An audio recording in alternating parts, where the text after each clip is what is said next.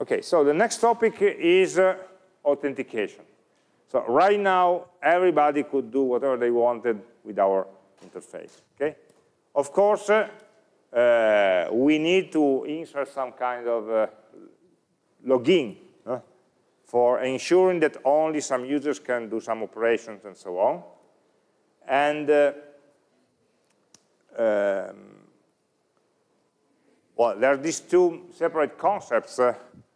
One is the authentication and the other is the authorization. They go together, but authenticating a user means that uh, the application is checking whether the user is actually who is pretending to be. Basically, if you know the right password or other kind of authentication. This is something that you, you do at the beginning, login, let's say. The login uh, phase is when you authenticate a user. Then, once a user is authenticated, you can authorize that user to some specifications. Authorization means that for every action, for every route, for every button, for every action on the web page, you decide whether to allow it or not, depending on whether some user is authenticated, so logged in, somebody logged in, or we are in anonymous mode. There are some pages that can be visited by anybody. We don't need any authentication. Some pages are protected. They are only accessible to an authenticated user. And maybe some actions also depend on which users. You have some admin user that can do some actions and a regular user that can only do something else. A user can only maybe modify its own posts and, other, and not other people's posts. Or it can vote other people's posts, but cannot vote its own, his own post. So uh, many actions depend also on who is logged in and in relationship with the data that is being modified. So authorization is deciding, depending on who you are, what you can do. But who you are has been checked at login time. Um, these are complex topics, okay? Everything related to, to security is very complex, uh, and uh, uh, it's very easy to, to get wrong. Okay, you forget something and you are opening the security, you're destroying the security of the application so that anybody can enter and so on. Okay, so um, we are here in this course of code we'll try to do some basic authentication mechanism, but uh, it's not really a, a secure solution. Uh, our, our friends in the cybersecurity course are spending uh, much more time on this topic, of course. Uh, but the, the basic message is don't invent anything yourself concerning security. Try to use uh, existing solutions where probably the code or the, the programming patterns are already being validated. Uh, and so maybe we don't understand everything, but we trust that it's implemented correctly. And in a client-server application, authorization is a multi-layer uh, stack of, of checks, of, uh, of permissions, let's say. Okay, so from the user point of view, the user can, have, uh, can navigate through pages, the routes, that was what we have been doing up in, until now. And now we are adding two special functions, one login and a logout function.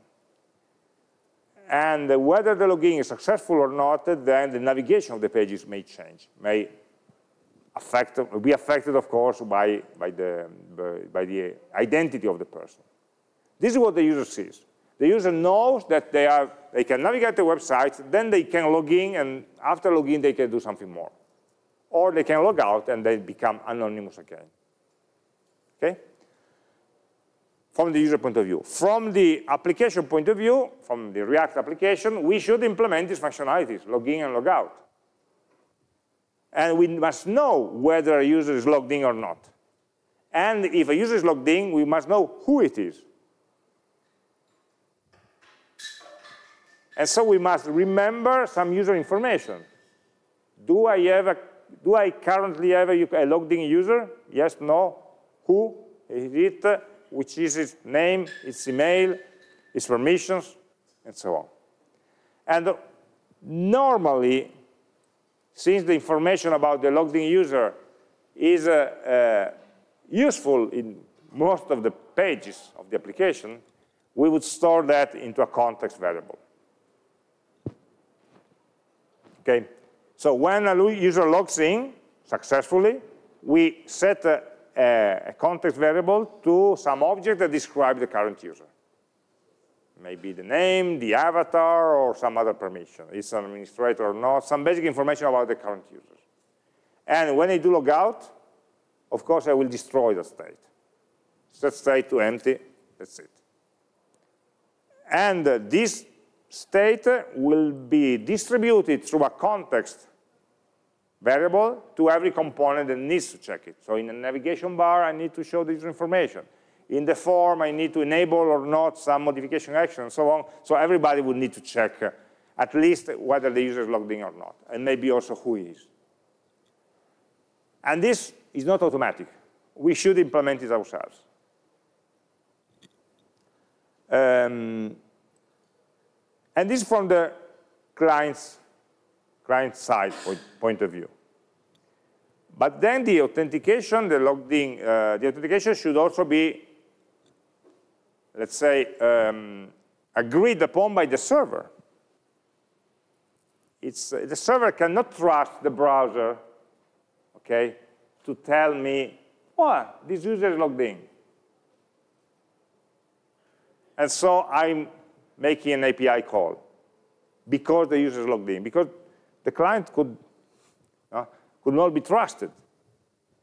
If I modify the client, it's JavaScript code on a browser. If I modify this code, I could trick the server into believing that I'm logged in when I'm not really. So there should be some mutual trust between the client and the server that ensures that actually the user has been logged in, has been recognized. And who is the only entity that knows whether the, say, a user password is correct is the server. The problem is that the server is an HTTP server that by definition doesn't have any memory. So if I log in now, I'm providing you my username and my password. And the server checks them with the database and say, okay, this is the correct, these are the correct credentials. One millisecond after, the server doesn't remember that okay? But I need to remember it uh, throughout the whole navigation session. React could store this information, but React cannot be trusted by itself. So we need another mechanism for remembering some client-server interaction, something that can be generated and validated by the server, but is, uh, survives different API calls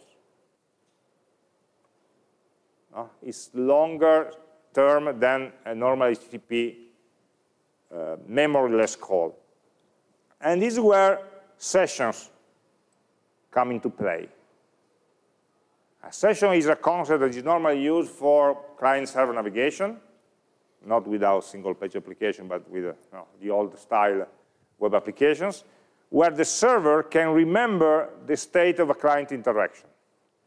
So the server can remember something about you, basically. The issue is that it cannot remember something about you uh, because it doesn't remember at all. It's stateless. So the server remembers something about you because it gives you some information that you are giving back to it uh, at every next interaction. Okay? So these are uh, the mechanisms based on cookies for ensuring a shared information between the client and the server. Uh, um, the, the, cookie is very simple. Imagine that I'm, I'm a person that no, flashes his memory away every two seconds. Okay, so I, I meet you and say, okay, hi, nice to meet you, I'm, I'm John and I immediately forget about your name. Okay, that's my problem. Uh, I'm, I'm a memoryless server. But I want to be polite and refer to you, hi, John, after maybe 10 minutes. So how can I know?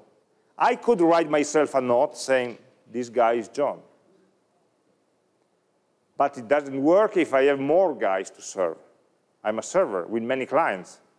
So I may have a John, a, um, a Paula, and, uh, and Frank, uh, and uh, other names. I know that I'm have all these people, but when I have a next interaction, next API call, I don't know which is which. So my trick is uh, not keeping the, you know, the node myself, but giving it to you. Hi, John, nice to meet you. And when I shake your hand, I'm giving you a, a little cookie, a little note. And uh, you promise me not to read, not to modify that note, but to give it back to me every time we meet again. So next time one of you comes, uh, gives me the note, uh, I open, okay, you're Frank. Oh, hi, Frank. And we go forward. You are giving me some information that I gave you to store. Okay, like people that are trying to save their money to, by putting them into other people's pockets, okay?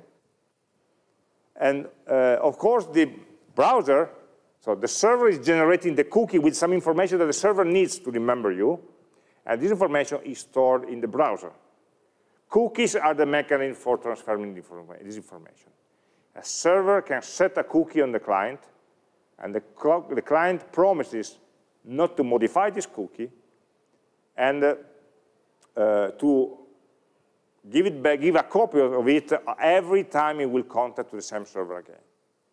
It's a very strange way of working, but uh, it's uh, the only way to overcome the, the fact that the server is, is memoryless. Then in practice, I'm not actually giving you the nodes with the names, uh, I'm giving you a number from which I can unlock the nodes. So I will have these nodes with number one, two, three, four, five, and give you number five. So I don't give you the list of, of my nodes. I only give you the key, say, for, for selecting which is which of mine. And this is the session ID. This is called the session ID. It's an ID that identifies the session from the point of view of the, of the server. Normally, this is a randomly generated and cryptographically secure value so that the client uh, cannot mess with it.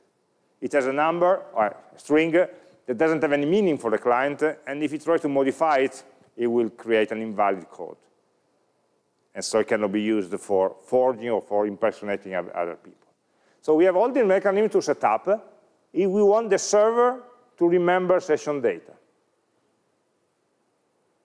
So the, the, the, sessions are made of two separate parts, one exchange of cookies, and these cookies basically exchange a cryptographically secure session ID string, just a meaningless number, and the server using this number will manage a data store that associates with every session ID actual data from the user. And this data on the server can be used to store the authorization.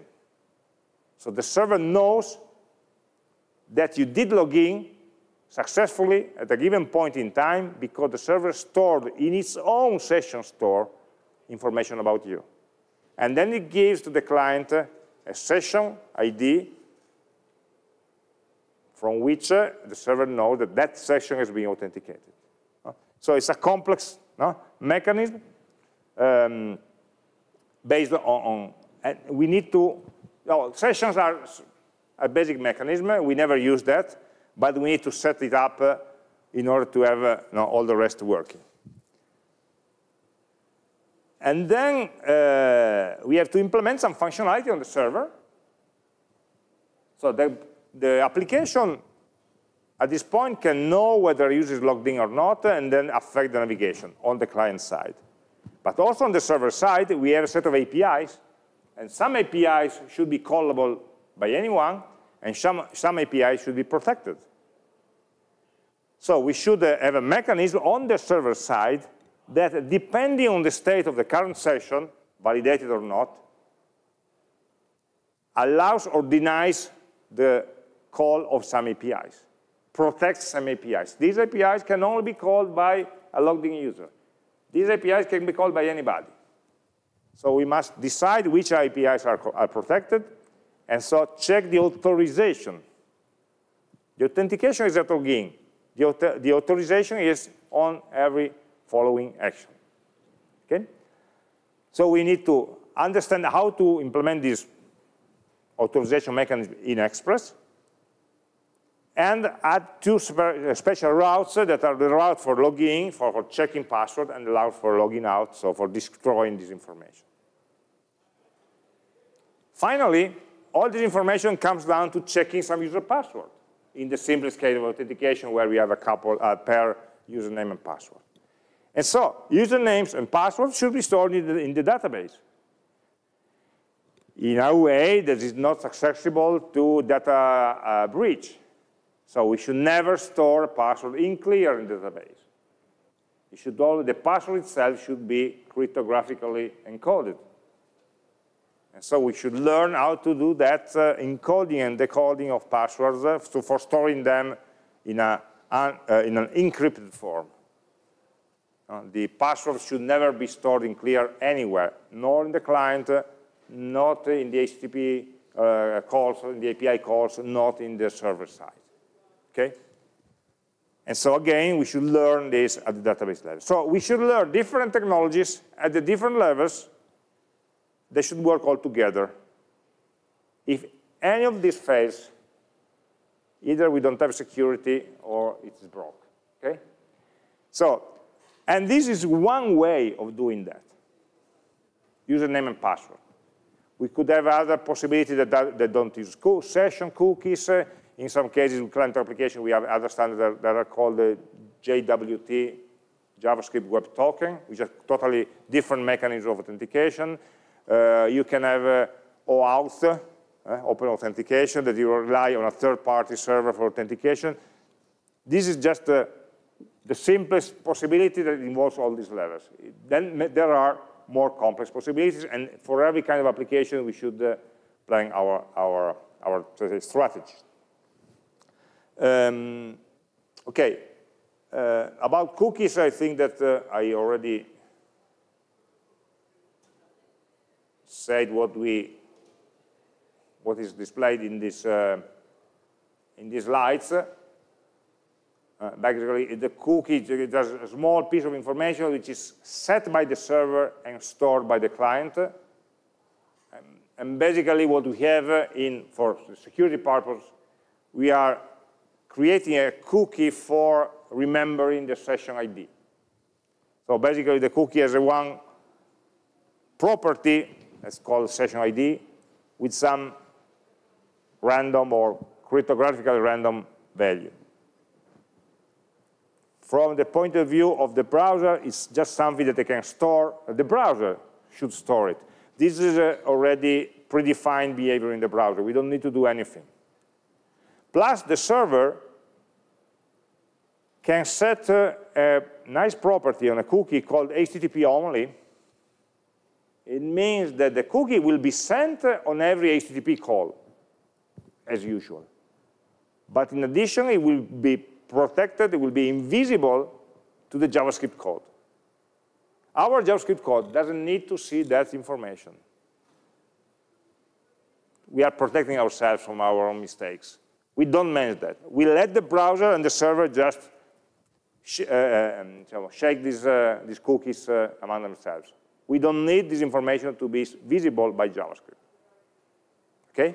So we will create session cookies with a name, uh, random value, and uh, HTTP only. With an expiration date, normally we have something like 20 minutes or one hour as the cookie lifetime. Other, after that, it will be considered invalid and should be maybe reissued by the server. Okay? And um,